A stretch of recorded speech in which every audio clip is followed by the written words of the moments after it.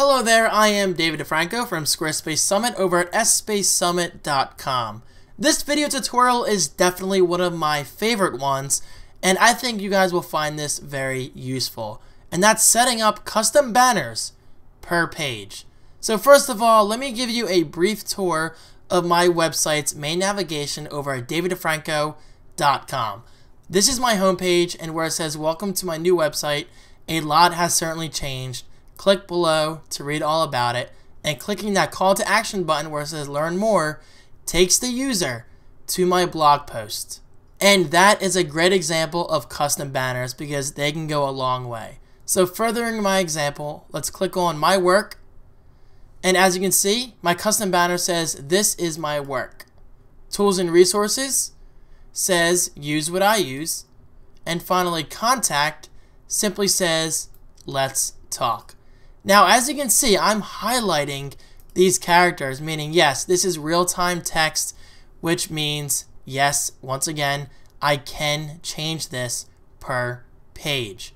This is a very powerful feature that, in my opinion, goes a long way. It allows you to customize the appearance of each page to your liking. So, to do this, let's get started by pressing the Escape key on our keyboard, and this brings up the Website Manager view,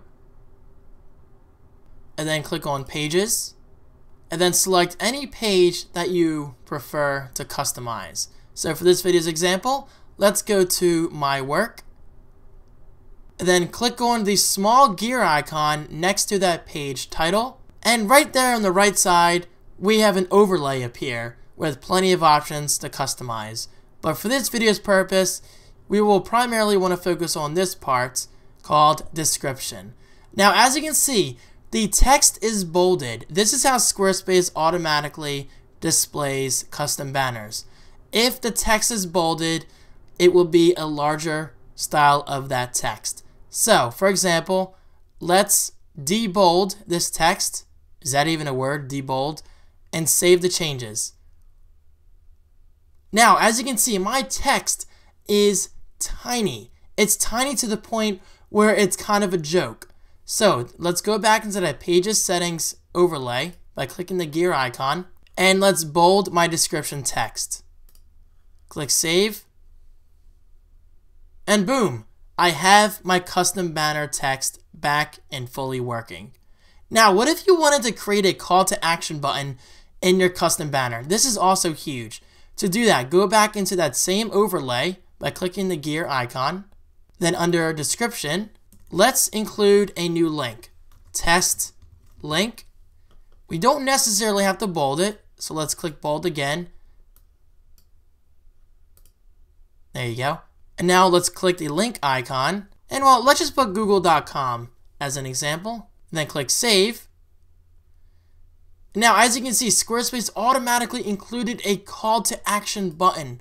This is huge, and I just really Really appreciate this feature. Okay, so clicking this call to action button automatically goes to google.com in a new tab.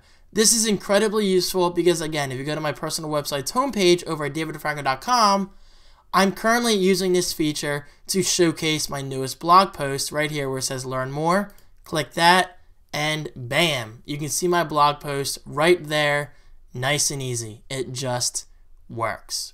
So there you have it. I really hope you enjoyed this information.